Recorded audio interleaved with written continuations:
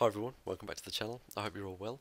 Today you're joining me for something a little bit special. So a couple of days ago, Sergio Loro, who a lot of you will know is from F3 Classic Tracks uh, and really well known for his uh, 1960s versions of European circuits for Assetto Corsa and now rFactor 2, he got in contact with me and asked me because he knows how much I absolutely love his 1960s version of Zandvoort if I'd like to have a go at a couple of his upcoming circuits. So he's given me access to uh, a beta version of Hockenheim GP and National layouts, and also another track that I'll do another video on later, um, which is really, really cool, and will be out very soon.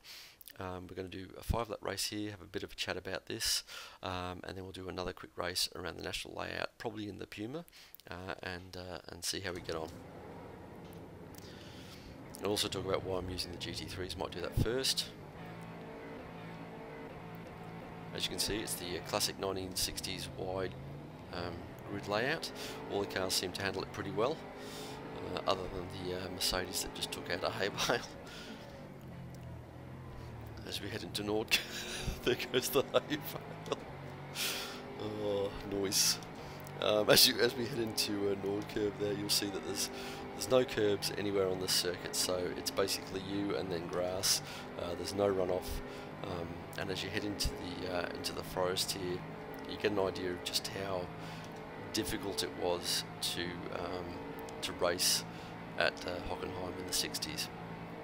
Um, it's basically you, grass, a fence, and then the trees.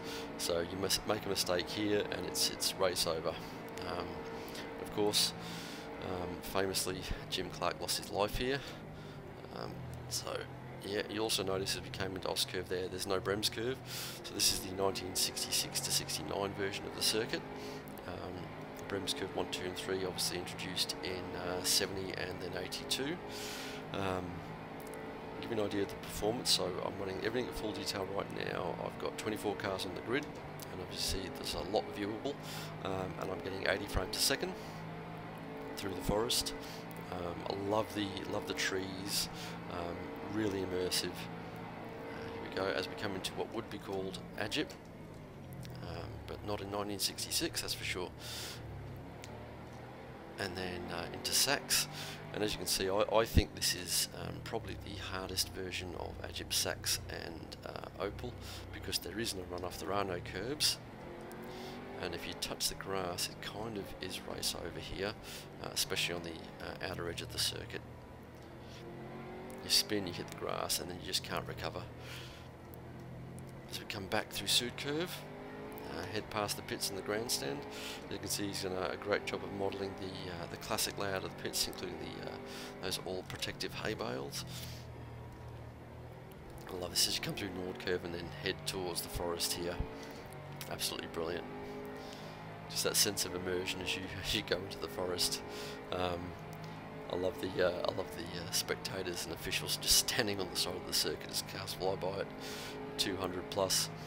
Um, so one of the important things of racing here um, is that you will need to draft. It's very much like racing at somewhere like Indy. If you don't draft down the two main straights, you will get left behind. As you can see, I was able to hit 287 there, and then my speed kind of peters off when I pull out of the draft um, the road surface. Um, now one of the things that I've fed back to Sergio is that I really love the, the texture detail, so you've got little patches of uh, repair tarmac everywhere, which adds to the immersion, um, but it would be nice to get some um, tactical feedback, or sorry, tactical, sorry, tactile feedback, some force feedback as you roll over those, especially at the patch um, right before Oss curve. Uh, I think it adds the, uh, the technicality of that corner um, if you're having to deal with some force feedback as well and some surface change. Now there is surface change here through Agip, um, Sachs and Opel. Um, there's elevation changes, slight surface changes here. Very easy to have the car rotate on you as you come through that section and obviously here as well through Opel and then through Sud Curve. Um, let's talk about the grass. I love the fact that Sergio uses 3D grass. Um, I do not know why Studio 397 don't do it. There's obviously no impact to performance, um, and it just adds to the immersion of a 1960s circuit. Obviously, there's no one coming down here with a mower and mowing this just for TV, so um, absolutely love it. Love the fact that there's grass and flowers on the side of the road. Um, yeah, so one of the reasons that I'm using the, uh, in its current state, the GT3 cars or a modern car is I tried to run the 1960s cars here. Um, F1s, F2s, F3s, and also the endurance cars based on the Howston and the Howston itself. Um, oh, there we go, drafting. And um, and here, as you come into Oscurve, because those 1960s cars are low downforce and also want to rotate much more than these modern cars do, they're braking on a curve, they, they start to rotate, they touch the grass and they all spin out and end up in that water truck. So it's, it's pretty hard to run a thematic 60s um, race in single player at the moment. But as Sergio stated, um, there's still a few things that he needs to work on for this track before it's released. Um, so hopefully AIW is one of those things. Oh, oh, nearly race over. Overcooked that big time.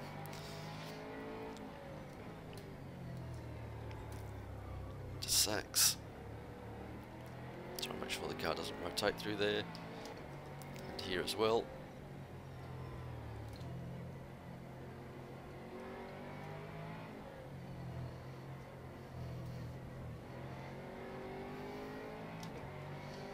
I going to let me in? Yes, he is. Just love the immersion of this circuit.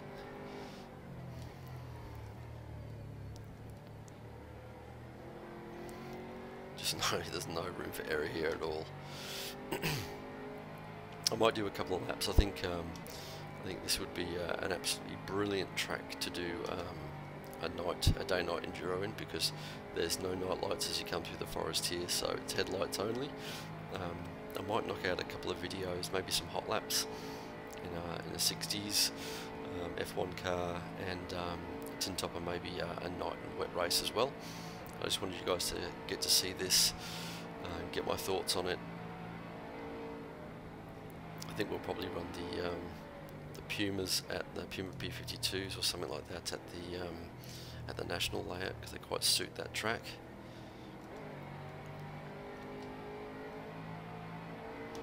Get a draft off this McLaren. You see what a difference it makes. If I pull out, I'll start to slow down not be able to make that overtake probably. Let's see.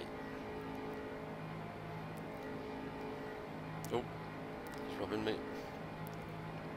There he goes.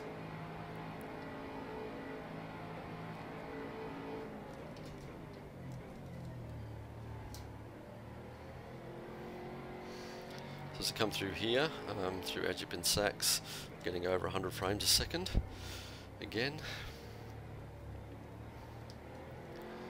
So it's already really well optimized. Um, I don't think he's got anything to worry about there.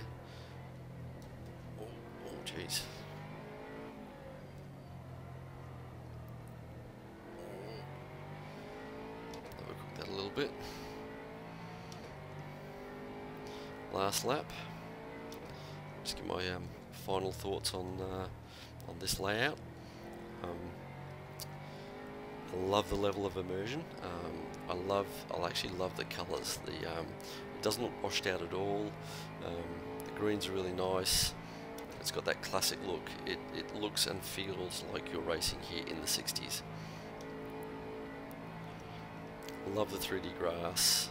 Um, love the repair textures on the road. I just wish there was a little bit of feedback on those. There's a very, very slight amount of feedback on the road surface as a whole, um, but it would be great to get some real jolts from these um, patches of tarmac here. I think it would add to uh, the whole immersion level, especially if you're racing a 60s car around here. Um, and the only other thing is the AI line. So yeah, I'd like to see a little bit of work on the AI line. I think it needs to be moved or adjusted in a little bit from the left edge of the circuit just to ensure that the uh, 1960s cars can actually handle it at speed.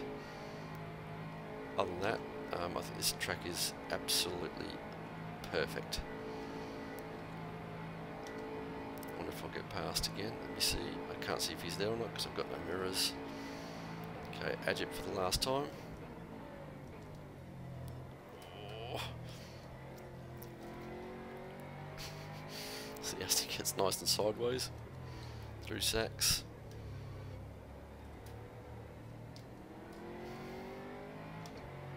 What would be Opel?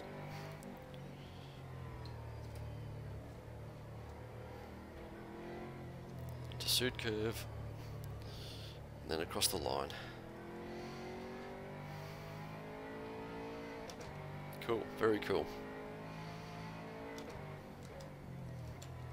Alright, we might um, drop out of this one and then hop in the uh, Puma and do a, uh, couple of laps around the national circuit, which is just off there. Alright guys, see you in a sec. Okay everyone, we're back. Uh, I changed my mind, we're going to do it in the Datsun um, Triple S. So we've got six laps around the short course, this is 2.6 kilometres. Um, give me my thoughts on it, um, they're pretty straightforward for this, uh, for this one. Um, I consider this to be pretty much finished. If this was my product, I'd be releasing this as a standalone. Um, because this one's pretty pretty much baked. I think I think this is done. Um, road textures look a little bit more crisp. I don't know if that's placebo or not. Um, especially as we come into the back back half of the national circuit here, you'll notice if it shows up on the uh, the, uh, the rendering of this video, you'll notice there's actually some kind of green mossy textures on the inside edges of the track, which kind of really add to that um, little bit of extra immersion. I'd love to see uh, Sergio have a crack at uh, Cadwell Park, um, being as it's known for having moss on the circuit. Um, I think he could do some really, really, really good stuff with um, just the way that circuit feels. Um, this one, feels absolutely brilliant, uh, performs really well again, so 90 frames per second, uh, 24 cars again on a short circuit, um, all visible uh, as you can see because I don't have any mirrors. They are handling this one a lot better than the, um, the AI um, for the GP circuit, especially with these Bluebirds, um, they are tail happy anyway and they seem to be dealing with it very well extremely competitive round here. I've got these guys set to 100 maybe 105 um, and I can't really keep up.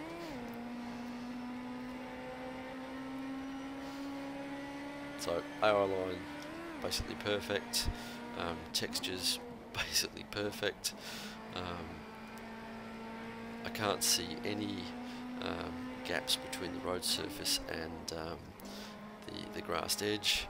Um, so to me this one's done. Uh, even even the back of the grandstands look great. Love the undulations in the uh, in the barbed wire fence. A little um, on the rise there. It's actually quite a technical little circuit. Um, the national circuit's probably the uh, the least changed of any part of the um, the Hockenheim circuit as a whole from 1966. Um, the only thing that's actually changed is an extra corner layout was added to um, the last corner before uh, Agip. So really it's the only thing that remains of that 1960s layout.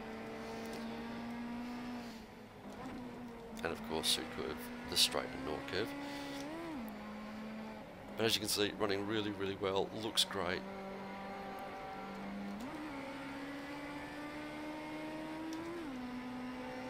No drafting here obviously, it's too short.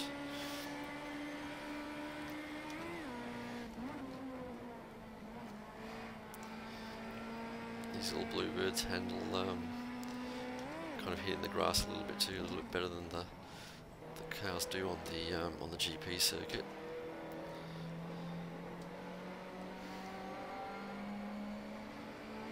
Should have dropped down a cog there. Sense of immersion and closeness again is really good um, on this national layout. You've got extra objects around the place, you've got the fenced off section at the back there. You've got me not being able to pick the right gear.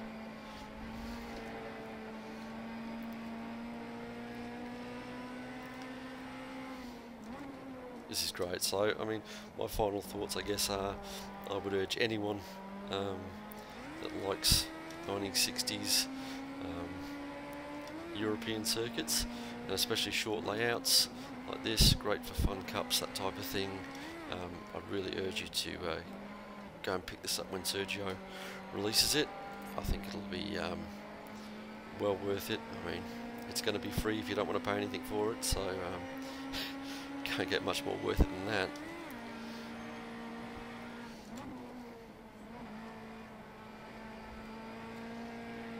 I definitely won't be picking this up for, three, for free. I'll be um, I'll be throwing a few euros at, at Sergio for this.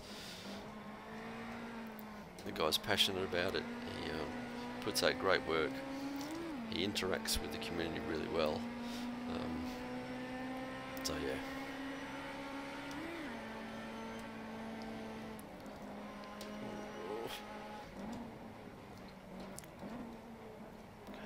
Get that gear before I actually exit. There we go.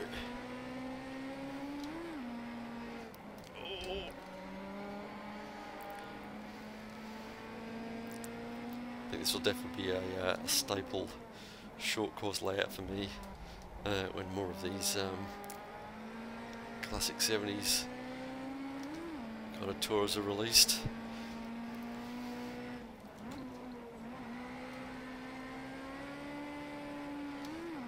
This is absolutely brilliant.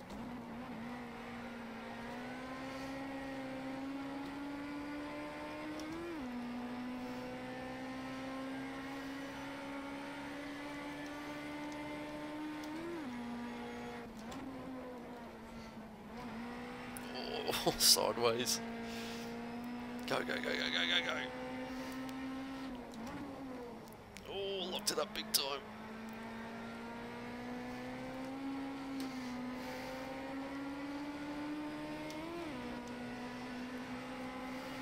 Two laps to go.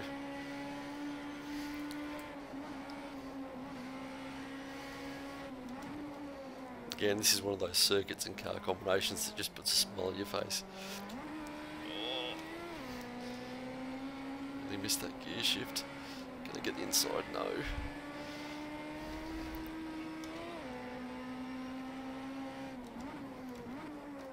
Oh.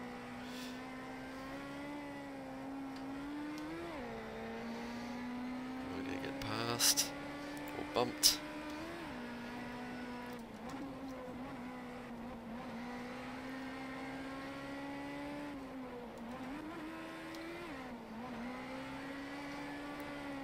Gear to be in.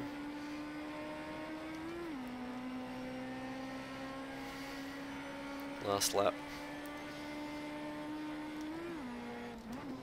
So my final thoughts on this one, absolutely brilliant.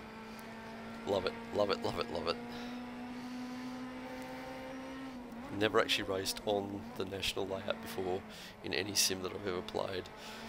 Um, so I don't know how this compares uh, accuracy wise, but um, I can speak for the quality of it. This is this is brilliant. Again, my feedback from before, it'd be great to see some more surface detail in the feedback, um, especially over that packs, patched section at the back there. Um, I think that'd really add um, to the excitement of driving this short circuit.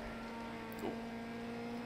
So hopefully Sergio can look at that before um, release, but that would be my only only piece of feedback on this. I think this is um, basically finished.